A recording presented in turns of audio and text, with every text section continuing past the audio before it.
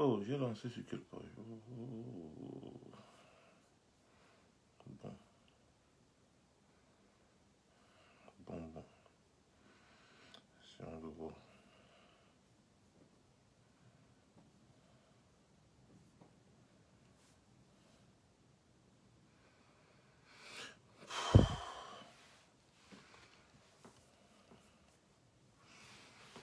Bonsoir, bonsoir, bonsoir. Ah, je suis en, direct sur Max Senior Alpha ce soir. Et ils m'ont envoyé un message que euh, il y avait une, une certaine levée de restrictions sur cette page. Donc, essayons voir ce que ça donne. Bonsoir à tout le monde. Je suis là, je suis de retour sur Max Senior officiel Alpha. Euh, oui, bonsoir Duval, bonsoir Maurice Ndiasseb, bonsoir la Tontina de Marcel, bonsoir.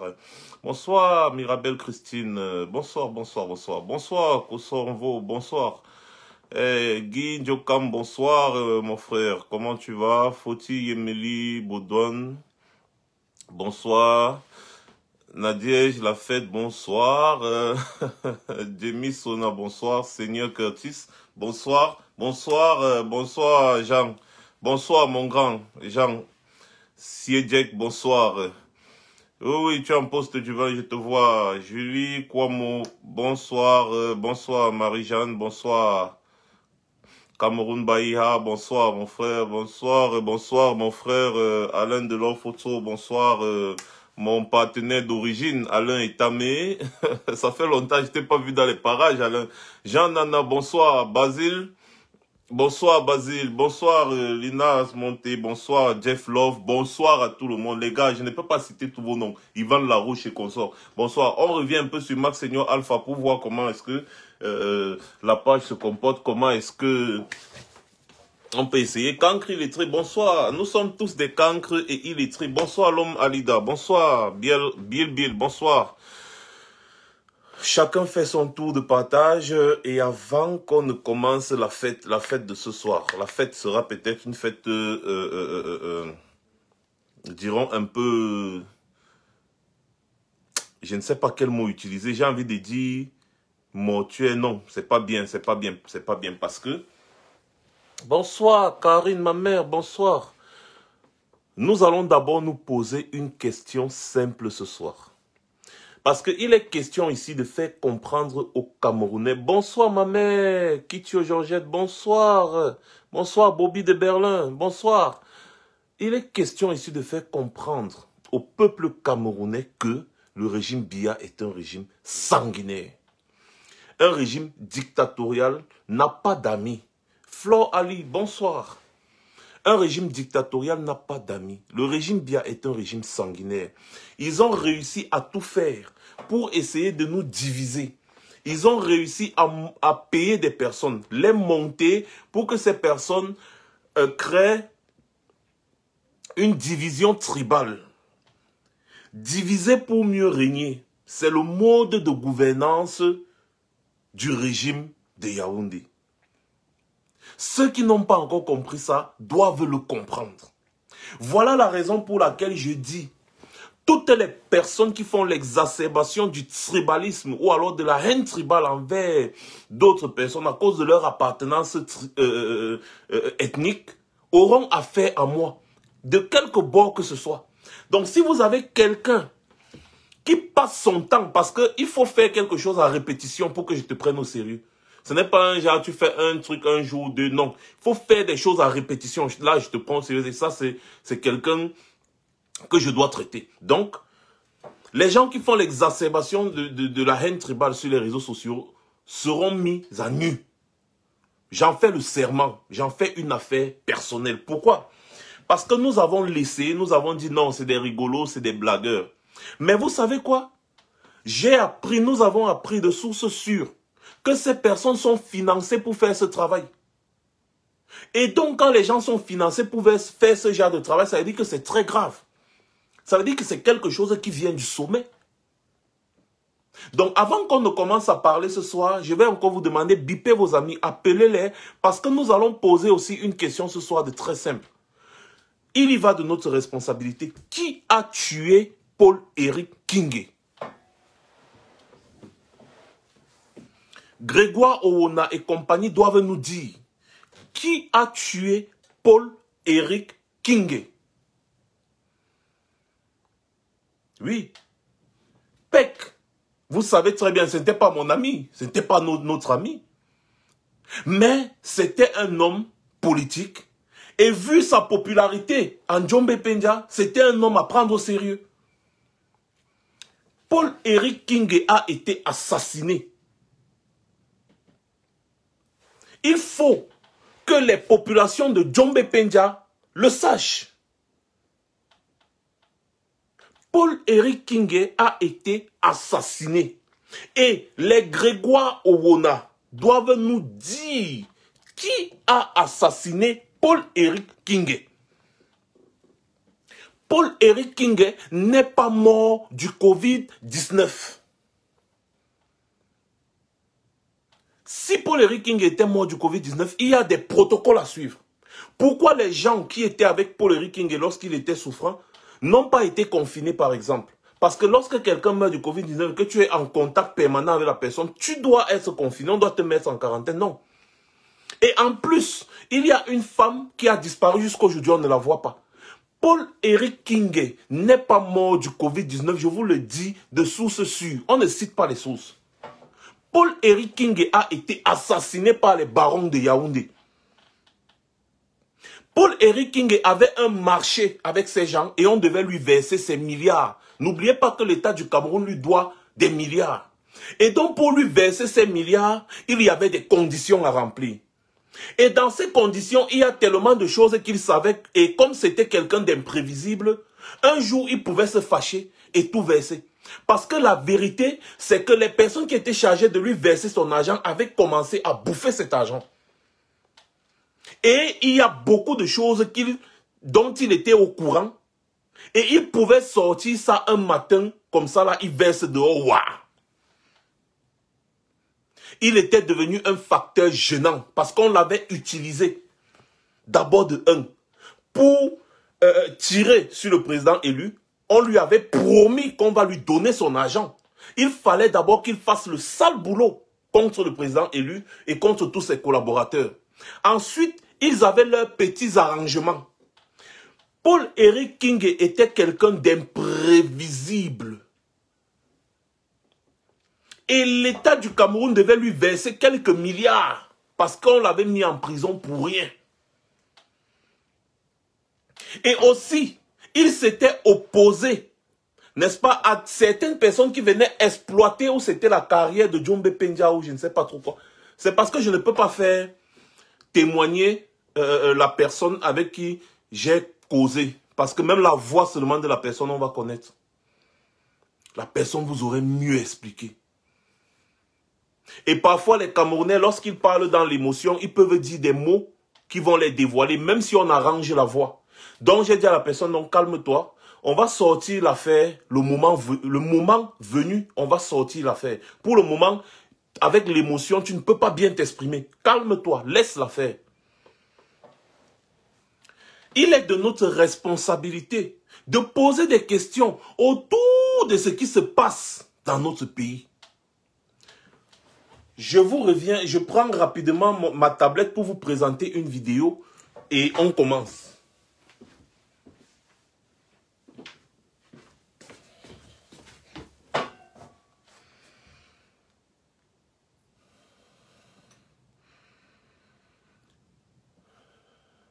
Bon. Je pense que euh, voici voici quelqu'un qui était Voici quelqu'un qui était très proche de Paul Eric Kingé, qui a fait une interview. Il a fait une interview donc. Le temps que vous continuez le partage, nous allons écouter attentivement. Et vous savez que ce que nous on, on sait faire ici, c'est de lire entre les lignes. Écoutez attentivement. Et on revient. C'est l'homme. Je connaissais qui était cet homme. Je vous rappelle même une chose que vous ne savez pas. Il y a de cela presque un mois, dans les couloirs de l'hôtel Sawa, quand nous sommes à l'hôtel, il me rappelle que il n'y a que toi qui connais même ma vie. Parmi tout le monde là. Tu connais mieux ma vie. Ça, c'est ce que je vous dis aujourd'hui. Mais seulement ce que vous ne savez pas, quand on me dit qu'il est décédé de la COVID-19 aggravée. Je veux bien que ces professeurs, ces hauts agrégés de la science médecine nous disent et qui nous témoignent et qui nous disent vraiment qu'est-ce que c'est que la COVID-19 aggravée. Parce qu'ils ont bien précisé aggravée.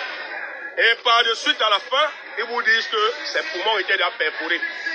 Mais je veux bien comprendre pour un homme qui ne fume pas, pour un homme qui ne boit pas, comme je vous le dis, j'ose croire. Mais le moment venu, je sortirai certaines choses pour faire comprendre au monde entier que Paul King est un symbole. Vous avez vu tout à l'heure toute cette jeunesse. La police a essayé, même en tirant de partout. Ils ont même tué une personne. Hein. Il y a un mort et deux blessés très graves. À la fin, à la fin, le peuple a toujours eu raison. Ils ont récupéré le corps. Il a fallu des négociations pour qu'on dise que non, n'ouvrez pas le cercueil, laissez. Je pense que les autorités qui étaient présentes ont compris la leçon en fait. Mais seulement moi, la leçon que je retiens, je retiens une leçon des hypocrites. La méchanceté humaine, l'hypocrisie entre les hommes. Et je le redis encore une fois de plus, après Jésus, je pense que c'est pour les Guinée. Parce qu'il est mort pour les hommes. Il a laissé sa vie pour les hommes. J'en ai terminé, merci.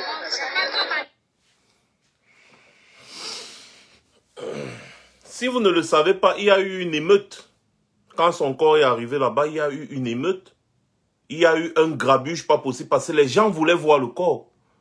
Et le régime de Yaoundé a confisqué complètement le corps. Paul-Eric King n'est pas mort du Covid-19. Donc, il y a mensonge. Il y a mensonge.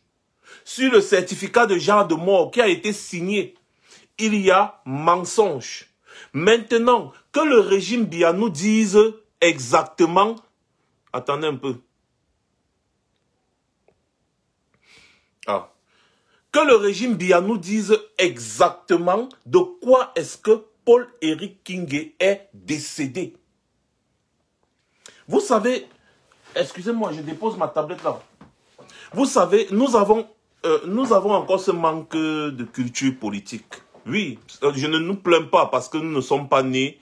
Josiane, ça c'est juste du fanatisme. Ce qui m'intéresse, c'est ce que la personne a dit dans la vidéo.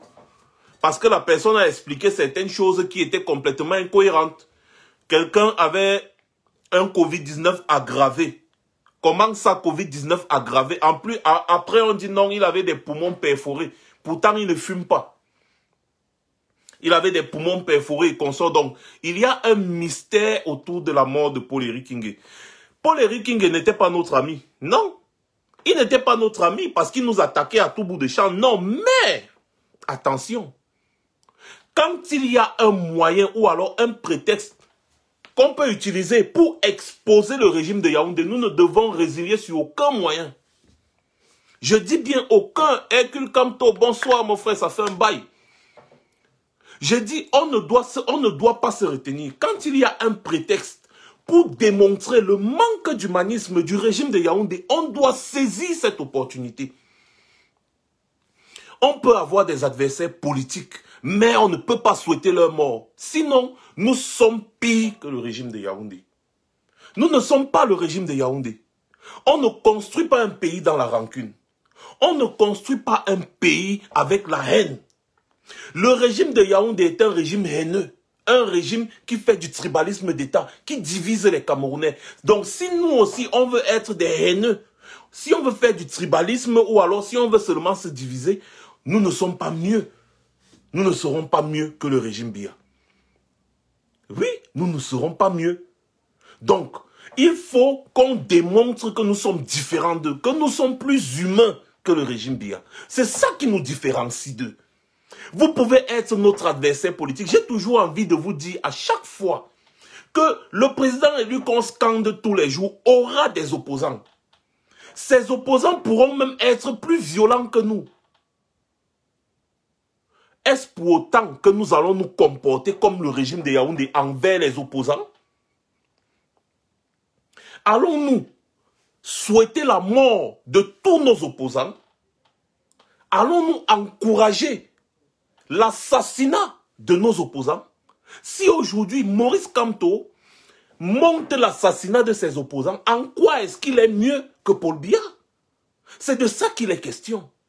Donc Paul Eric King était un adversaire, il était devenu un adversaire même farouche. Mais ce n'est pas pour autant que nous allons nous réjouir de sa mort. Non. En plus, il a été assassiné. Il a été assassiné, ça doit nous interpeller. Et nous interpeller même à un niveau encore plus grave. Le président Maurice Kamto est au Cameroun là-bas. Sa vie est constamment en danger. Si on n'arrive pas à s'interroger sur la mort de nos hommes politiques, c'est comme ça qu'un jour, si on apprend que quelque chose est arrivé au président élu, on va se comporter comment?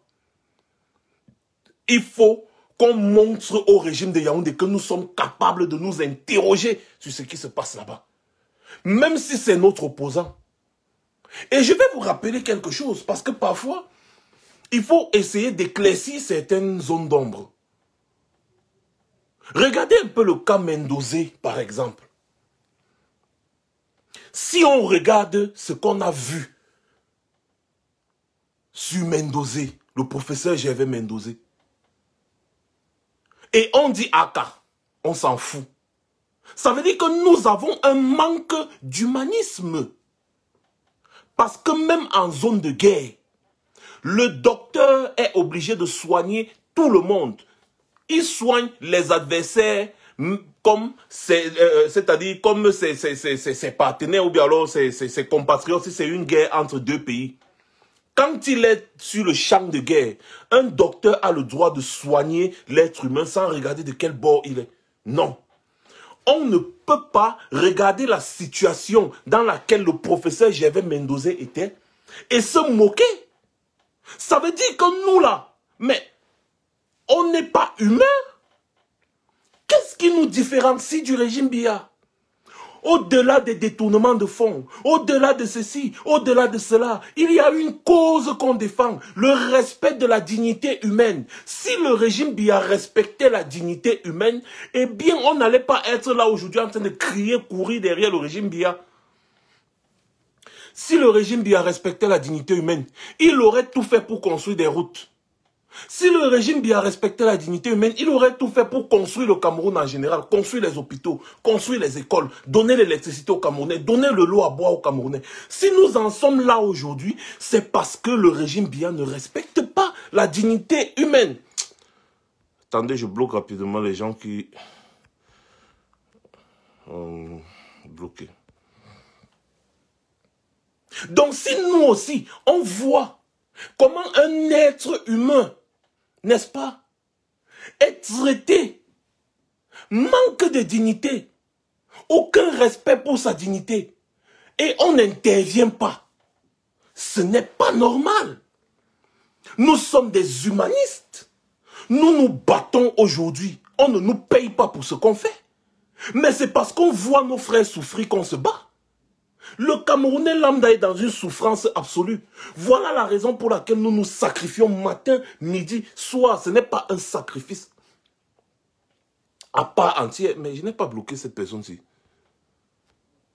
Oh peut-être j'ai bloqué un combattant. Comme vous voyez la, magie là. Attendez, je vais demander bloquer encore. Oh, je ne sais pas. Ça ne fonctionne pas. Bref. Nous devons être des humains. Nous devons nous comporter comme des humains. Le professeur Gervais Mendoza était dans un état de, délabrement, un état critique. On ne doit pas s'en moquer. On ne doit pas se moquer.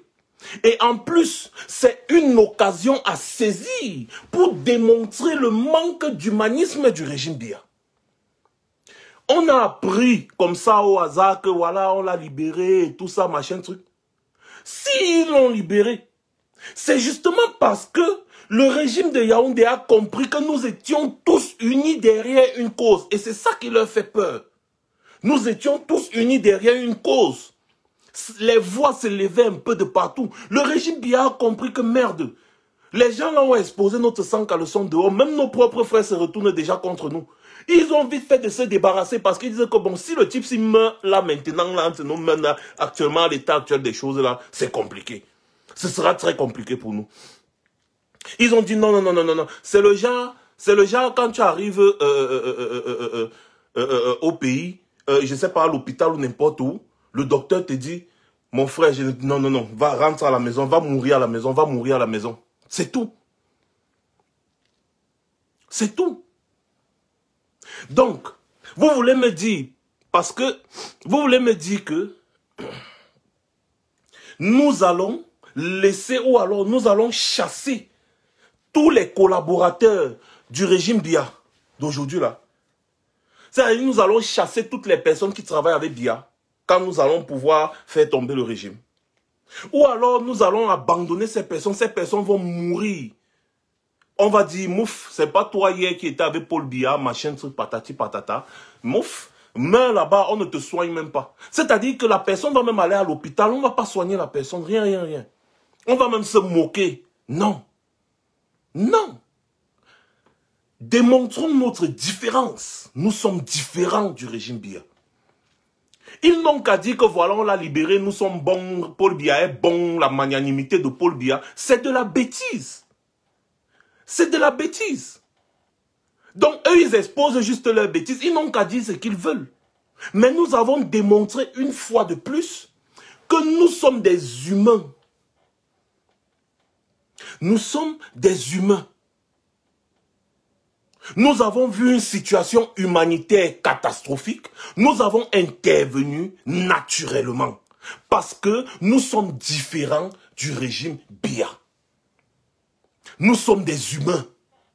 Oh, il a volé l'argent du Cameroun, donc il doit mourir de cette façon. Quand même. Quand même. Respectons-nous. Respectons même l'homme qu'on dit être notre leader. Parce que lui aussi, il est un humain. Et vous voyez très bien sa façon de faire. Nous devons apprendre à nous comporter différemment du régime BIA. Nous devons nous comporter différemment du régime BIA. Voilà.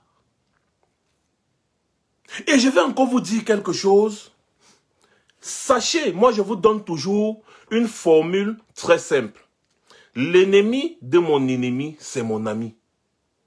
Sachez bien que le régime Bia que vous voyez là ne met pas les gens en prison parce que ces gens ont volé. Quand on part sur cette base-là, on comprend parfaitement que ça nous donne encore une raison de plus de nous battre quand on voit ce genre de situation. Le régime Bia ne met pas les gens en prison parce qu'ils ont volé. Non, non, non, non, non, non, non. S'ils mettaient les gens en prison parce qu'ils ont volé, nous avons démontré ici avec les documents qui vont avec eux Ferdinand Gongo a détourné des milliards. Pour les milliards qu'on avait mis à sa disposition pour l'organisation de la Cannes. C'est où? Ferdinand Gongo fait encore quoi? Il est là, non? Il est secrétaire. Il a même été promu, non? Ou c'est ministre d'État ou je ne sais pas trop quoi. Jacques Famendongo. Il a détourné l'argent du comice agro-pastoral de Bolova. Plus de 300 millions. Jacques Famendongo fait quoi dehors? Il fait quoi dehors? Nganou Djoumessi, qui construit une route à 7 milliards, alors que la route coûte 1 milliard. Nganou Djoumessi, qui détourne l'argent aux travaux publics, matin, midi, soir. Il fait quoi dehors? Nganou Djoumessi fait quoi dehors? À Tangandi, où est l'argent de la reconstruction du Nozo? Les quelques milliards qu'on a mis, on a dit que voilà quelques milliards pour la reconstruction du Nozo. L'argent là est où? Qu'est-ce qu'Atangandi fait dehors? Le régime Biya ne met pas les gens en prison parce que les gens ont volé. Quand le régime Biya met quelqu'un en prison, c'est parce que la personne est un danger pour lui. C'est pour ça que Bibou Nissak est en prison.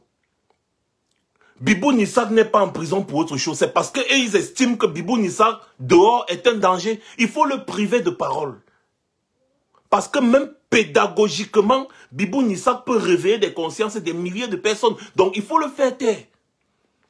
Le professeur Alain Foguet fait quoi en prison? C'est justement parce qu'il est un danger pour le régime BIA. Tous les prisonniers politiques, tous ces prisonniers-là sont des prisonniers politiques. Les seuls, les seuls voleurs, les vrais voleurs, les petits voleurs qu'on met en prison sont les petits voleurs de quartier, les petits braqueurs de, de tout, tout, tout. Mais quand je parle des hommes d'État, les, hommes politiques que Bia met en prison, les Polycarpes à bas les... Je sais pas, ici, je sais pas, les Polycarpes à bas tu vas voir les Atanganakuna, tu vas voir les, les, les, les, les euh, Edgar Alain Mebengo, tu vas voir les, tu vas voir tous ces ministres, les Ia Mohamed. Tous ces gens-là, c'est des gens qui étaient euh, devenus un danger pour le régime Bia. Marafa Amidou Yaya a fait quoi? Qu'est-ce qu'il fait en prison? Marafa Amidou Yaya, si vous ne le savez pas, était un espoir pour le Nord Cameroun. La jeunesse au nord, j'ai dit le nord, le grand nord, la, Damawa, le nord et l'extrême nord, on appelait partout où Marafa Amidou Yaya passait là-bas, on l'appelait Monsieur le Président. On appelait Marafa Amidou Yaya était appelé Monsieur le Président. Qu'est-ce qu'il fait en prison? Eh bien, c'est parce que le régime bien a eu peur de lui. Et donc, vous, vous me dites aujourd'hui que, d'accord, si je vois Marafa Amidou Yaya dans la situation dans laquelle il est, je ne dois pas me battre pour le faire sortir. Néanmoins, pour rallier toutes les personnes qui sont des sympathisants de Marafa Amidou Yaya à notre cause, ça veut dire que nous sommes bêtes. Ça veut dire que je suis bête. Marafa Amidou Yaya doit être un allié de poids dans notre lutte. Il doit être un allié de poids dans notre lutte. Ia Mohamed doit être un allié de poids dans notre lutte. Mais vous pensez que la révolution, c'est euh, la cour de récréation ou bien je ne sais pas quoi, on va au, marché, on achète les beignets, maïs, on met un peu de piment, on mange, c'est bon? Non On a besoin des alliés de poids. Et qui peut être un meilleur allié que celui-là même qui a été dans le régime et qui est victime du régime? Vous pensez que Mara Famidou Yaya n'a pas beaucoup de sympathisants? Je puis vous rassurer que quelqu'un comme Marafa Yaya ou bien quelqu'un comme Ia Mohamed, par exemple, ce sont des personnes qui sont soutenues par des milliers de personnes. Et si nous commençons à nous battre farouchement pour leur cause, ces milliers de personnes-là vont rejoindre notre cause. Ces milliers de personnes vont rejoindre notre cause. Regardez un peu ce qui s'est passé avec le professeur Mendoza, par exemple. Quand les gens du Nord ont appris que le professeur Mendoza a, on dit qu'il a été libéré, ils ont commencé à se, lamenter que mais. Donc depuis là, quand c'est seulement leur frère libère, machin, patati patata, c'est ça qu'il faut dans ce pays. On doit exposer toutes les mauvaises faces du régime Bia. Est-ce que les stratégies, on vient les expliquer euh, euh, euh, c'est-à-dire sur les réseaux sociaux et tout ça? Non La communication, surtout dans le combat politique, c'est un art. Quand on fait la révolution là, on doit avoir des stratégies même communicationnelles. Paul Biya a des ennemis. Nous voulons renverser Paul Biya. Les ennemis de Paul Biya sont par ricochet nos amis. Ce sont nos alliés. Parce que ceux-là, pour le moment, ne sont pas aussi euh, comment, dangereux que Paul Biya. Non, ils ne sont pas aussi dangereux que Paul Biya actuellement. Quand ils sont en prison là-bas, ça nous sert à quoi? L'argent qu'on dit qu'ils ont détourné là, c'est où? L'argent qu'on dit qu'ils ont détourné là est où?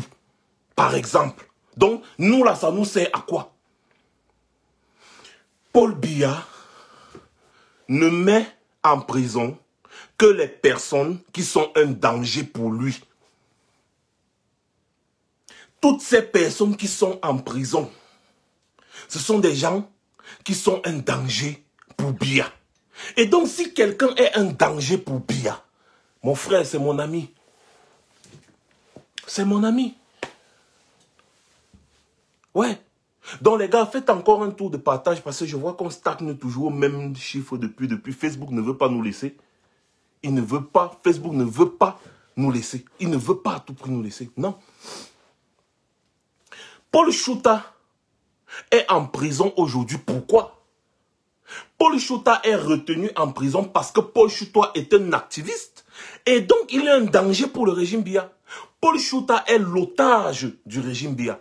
Même celle qu'on dit Calixte Bia là là, c'est elle que le régime Bia a utilisée pour mettre Paul Chouta en prison. Mais Calixte Bia n'a pas même, même la bouche pour la faire Paul Chouta, elle n'a plus. D'ailleurs, même logiquement parlant, selon la loi, quand le ministère, si tu peux, tu peux abandonner une affaire et le ministère public décide de continuer de poursuivre l'affaire. Donc, Calix Béal peut bien abandonner même l'affaire là aujourd'hui. Le ministère public va continuer son affaire. Vous voyez un peu de quoi je parle. Cette Calix Béa là, elle a été utilisée parce que c'est une femme méchante. Elle a été utilisée pour mettre Paul Chouta en prison. Et celle-là, elle va répondre. Parce que quand on t'utilise pour tuer quelqu'un, toi aussi tu vas répondre le lendemain. Si quelque chose arrive à Paul Chouta aujourd'hui, la première personne qu'on va accuser, c'est Calix Béala d'abord. Mais on sait très bien que Paul Chouta est l'otage du régime Bia. Pourquoi? Parce que Paul Chouta était un activiste et il, mettait tout dehors. C'est-à-dire, il mettait tout dehors. Lui n'avait pas de. Il mettait tout dehors. C'était un bon journaliste qui faisait un travail formidable. Il faisait des révélations fracassantes. Et donc, il fallait le faire taire. Et donc, ils sont passés par Calis Béala pour arriver à leur fin. Voilà. Par la méchanceté de cette sorcière. Paul Biya ne met en prison que les gens qui sont un danger pour son pouvoir. Et donc, si quelqu'un est un danger pour le pouvoir de Paul Biya, mon frère, si euh, tu es un danger pour le pouvoir de Paul Biya, mais mon ami, tu deviens mon allié. Tu deviens mon allié. Donc, au-delà de ça, je parlais de l'humanisme. Nous sommes différents du régime Biya parce que nous sommes humains. Arrêtons les chamailleries inutiles. Nous avons bataillé pour que, pour exposer aux yeux du monde la façon dont le régime Biya traite ses anciens collaborateurs. C'était ça le but de notre bataille. Et nous avons eu gain de cause.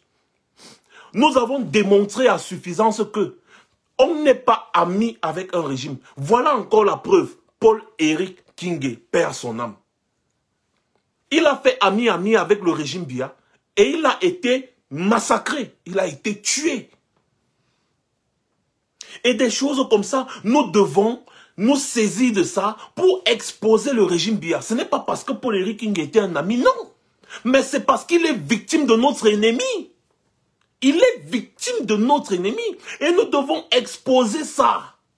Donc, ce n'est pas parce que Paul-Éric King n'était pas notre ami qu'on va voir comment on le tue et on n'intervient pas.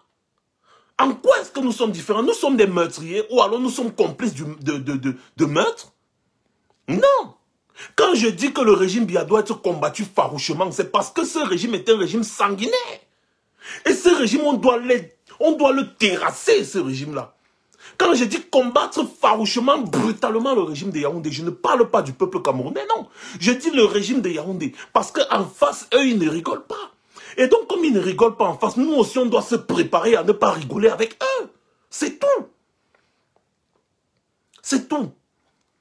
Donc, c'est pour dire que même s'il faut que je fasse une alliance avec des personnes pour descendre ce régime, les gars, je vais le faire.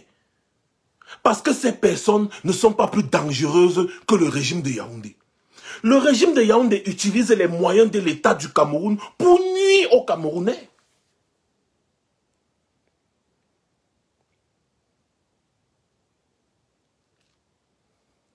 C'est de ça qu'il est question.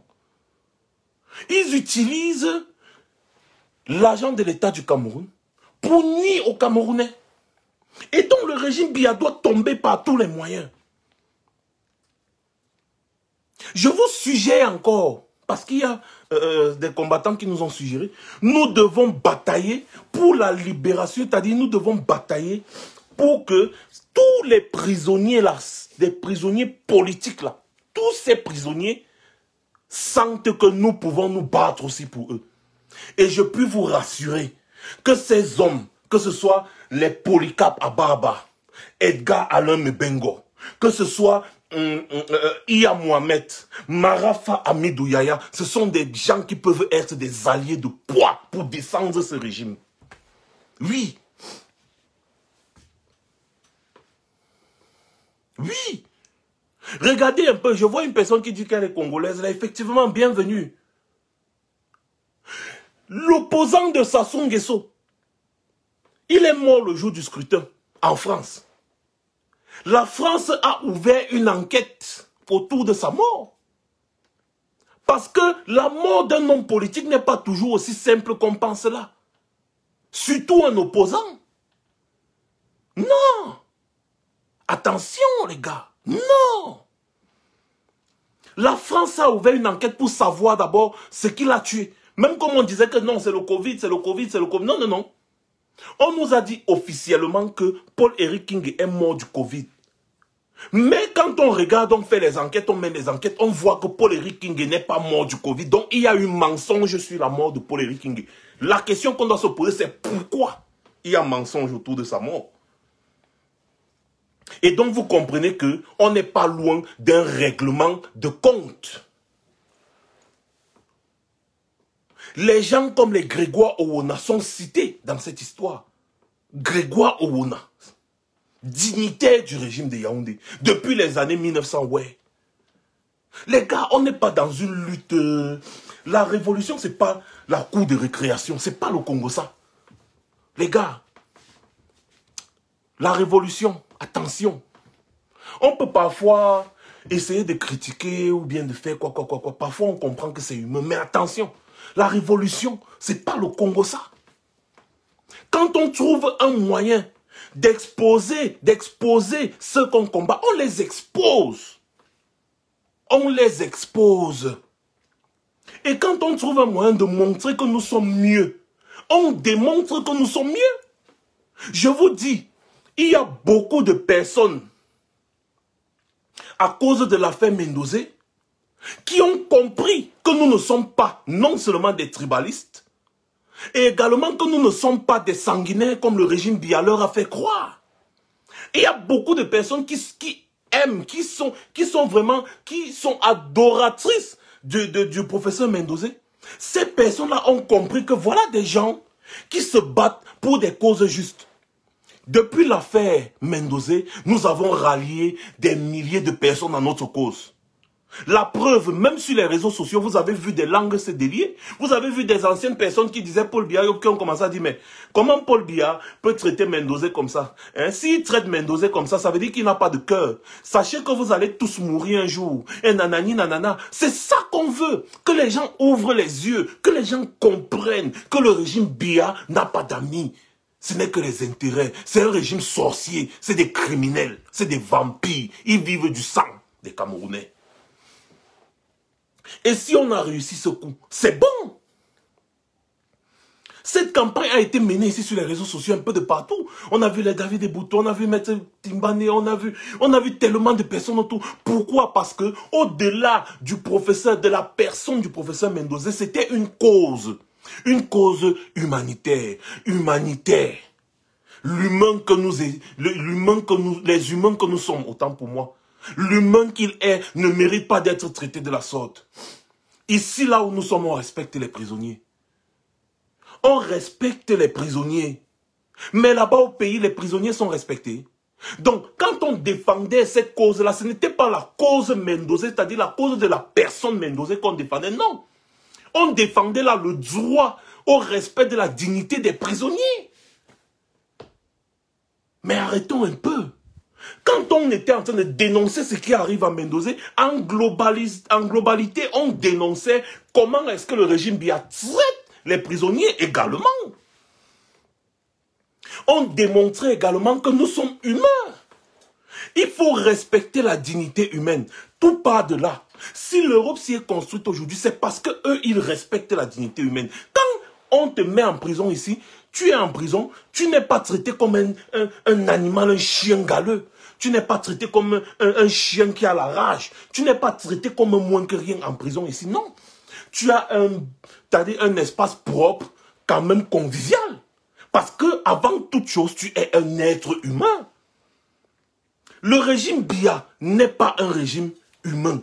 C'est un régime de sanguinaire, c'est un régime de tueurs. Voilà pourquoi le Cameroun n'est pas construit. Quand vous voyez des gens, n'est-ce pas, qui sont capables de monter des coups pour tuer leurs opposants matin, midi, soir, matin, midi, soir. Vous voulez vous attendre à quoi? Et le régime Biala, hein, c'est juste une petite bande de personnes qui sont au pouvoir depuis des années. Ouais. Grégoire, on en fait partie. Hein. Famen Dongo a fait partie. Hein. Donc, il y a d'autres personnes, parce qu'ils ne peuvent pas tout faire, ils prennent d'autres personnes, ils mettent autour d'eux. Mais quand ils voient que ces personnes-là sont déjà en train de s'intéresser, ils sont déjà en train de s'intéresser, ils vont tout faire pour détruire ces personnes. C'est comme ça. Donc, si quelqu'un est victime du régime de Bia aujourd'hui, même si la personne a travaillé avec le régime Bia hier, cette personne, c'est une personne humaine. Et quand on voit comment le respect de sa dignité humaine est bafoué, en tant qu'humanistes que nous sommes, nous devons nous battre pour le respect de sa dignité humaine. Parce que c'est au-delà de la personne. Nous donnons des leçons au régime Bia. Oui, disons même que Mendoza a volé, il a détourné les milliards. C'est pour autant qu'on doit apprécier les images qu'on a vues là Non. Non. Si l'État était bien structuré, c'est que les détournements là, ça n'existe presque, ça n'existerait presque pas. Si l'État était bien structuré, bien contrôlé, s'il y avait la liberté d'expression, vous savez ce qui sauve, ce qui fait en sorte qu'il n'y ait pas de détournement ici là en Occident, c'est parce que les journalistes ont la liberté d'expression. Les journalistes enquêtent matin, midi, soir. Les journalistes enquêtent ici matin, midi, soir. Les députés font leur travail ici matin, midi, soir. Donc ça veut dire que si un ministre blague avec l'argent du pays comme ça là, en mof midi, on va l'exposer, on va exposer ses faits. Mais au Cameroun, le régime vient se plaindre des détournements. Mais c'est lui qui pose encore toutes les conditions favorables au détournement. Les journalistes sont muselés. Les députés, il n'y en a presque pas. C'est tous une bande d'amis. Donc, il n'y a pas de contrôle de l'action gouvernementale du tout. On porte l'argent dans les caisses, dans les cantines. Comme je vous dis là, on donne entre les mains des gens. Et maintenant, ces gens confondent cet argent avec euh, euh, leur argent de poche. C'est humain. Vous portez les cantines d'argent, vous donnez aux gens, vous donnez les bons de carburant aux gens, vous ne contrôlez pas. Vous mettez toutes les situations propices au détournement de fonds. La personne est humaine. Aujourd'hui, il va un peu dire que bon, je prends un peu ça, je vais remplacer demain. Après, bon, si je détourne ça, il commence à faire les calculs. Ici, le journaliste, il y a des journalistes qui sont d'abord, un, dans tous les ministères que vous voyez, il y a des journalistes qui sont là-bas. Ils contrôlent tout.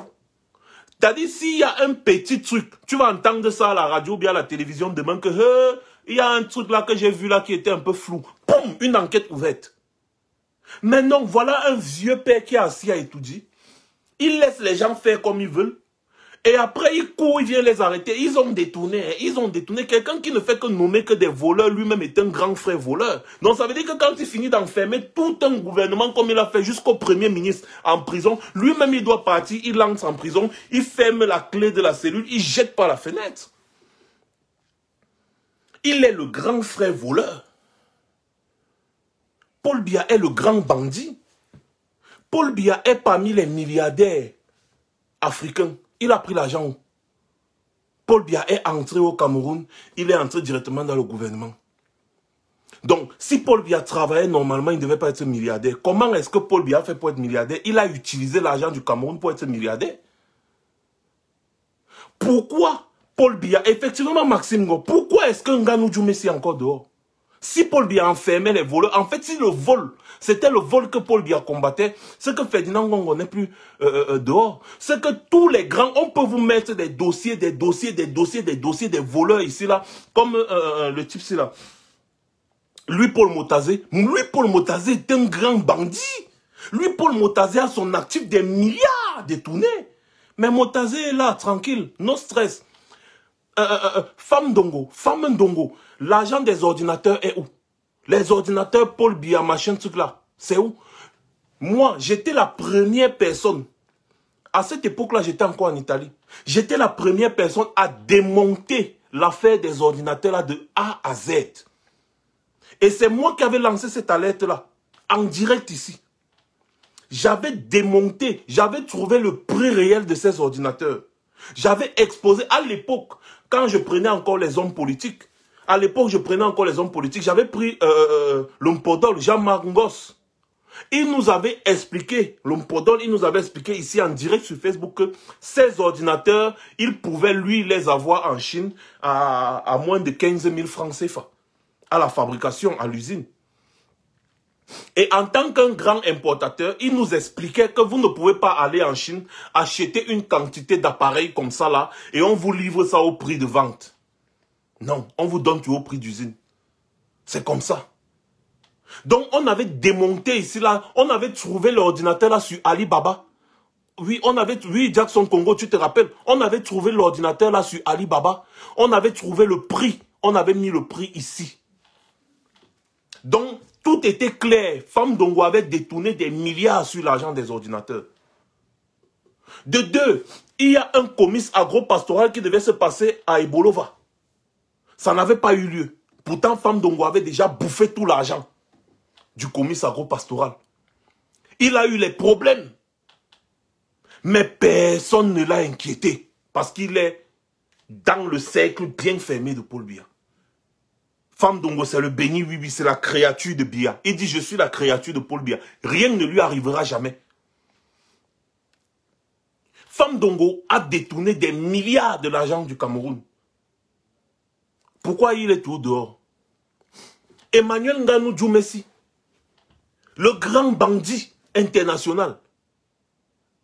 Hein? Emmanuel Nganou Djoumessi fait quoi dehors? Qu'est-ce que Célestine Ketchakoutes fait dehors? Qu'est-ce que Célestine Ketchakoutes fait dehors? L'argent du Covid, l'argent pour, pour combattre le Covid est en train de planer entre Madeleine Tuente et Manaouda Malachi. Qu'est-ce que Madeleine Tuente fait dehors? Madeleine Tuente, Madame Chauve-Souris, elle fait quoi dehors? Si Paul Biya arrêtait effectivement les voleurs, il y a beaucoup de voleurs là qui devrait être en prison. Non. Les personnes que Paul Biya arrête, je vais vous dire, les Polycarp Ababa, vous savez pourquoi il a arrêté Polycarp Ababa Eh bien, c'est parce qu'il y avait des rumeurs qui disaient que Polycarp Ababa voulait déjà déposer la candidature pour être président de la République. Il a dit, mais mon frère, Polycarp Ababa, c'est moi qui t'ai fait. Toi, tu veux déjà être président de la République. Mais tu es fou. Arrêtez-le. On a arrêté. Edgar Alain Mebengo, Edgar Alain Mebengo, il arrête Alain Mebengo. Pourquoi? Parce que Mebengo voulait déjà être président de la République, d'après les rumeurs. Il a dit, mon frère, mon fils, attends, j'étais pris comme mon fils, j'étais tout donné. Aujourd'hui, tu lognes mon siège. Arrêtez-le. Euh, euh, Marafa Amidou Yaya, tout le Grand Nord appelait déjà Marafa Amidou Yaya, Monsieur le Président, Monsieur le Président. Marafa Amidou Yaya était dans des affaires avec Yves Michel Foto. Yves Michel Foto est tombé aussi dans le même trou.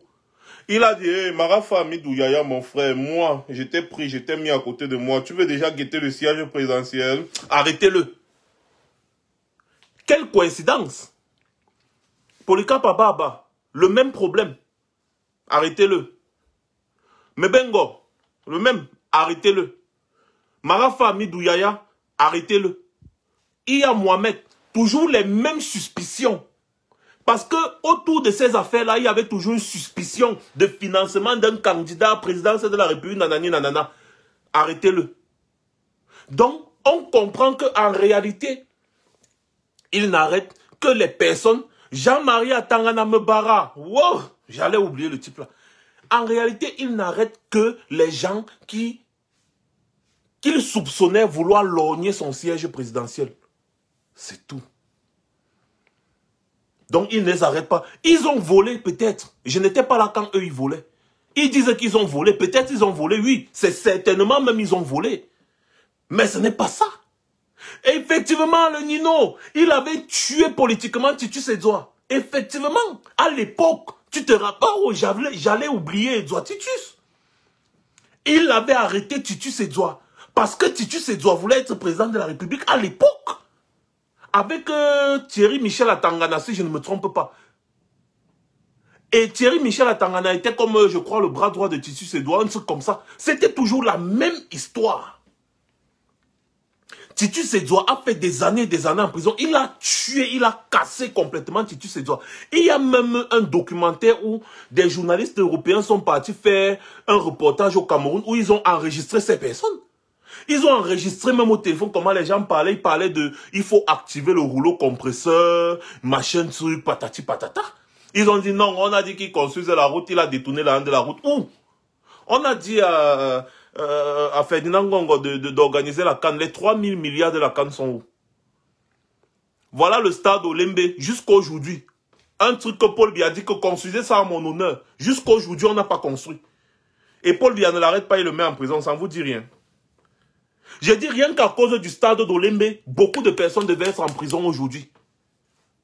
Mais non, il n'a arrêté personne. Ça ne vous dit rien. Au contraire, il les a même nommés.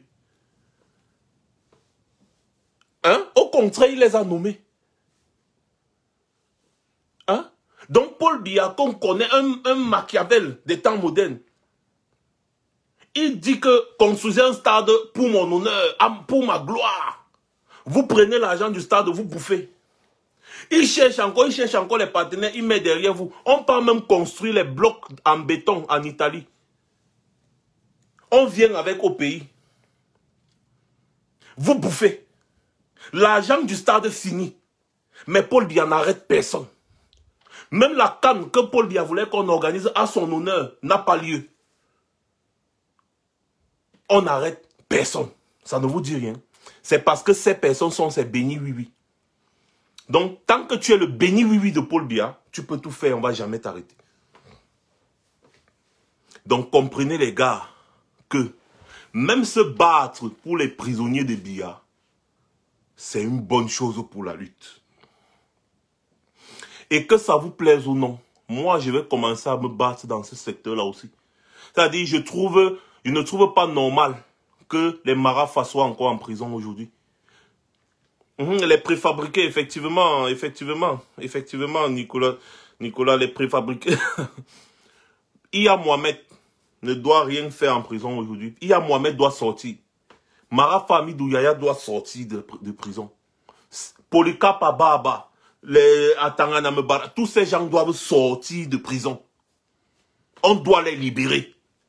Et j'appelle ici maintenant, pour la fin de mon live, j'appelle ici toutes les personnes, toutes les familles de tous ces prisonniers politiques, la famille de Mara Famidou Yaya, ses amis, ses collaborateurs, entrez en contact avec nous.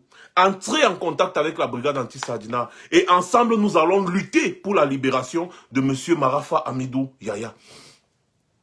Tous les amis, toute la famille de Jean-Marie Atanganamebara, toute la famille, tous les amis, j'ai dit toute la famille, les amis et les collaborateurs de tous les prisonniers de Paul Biya.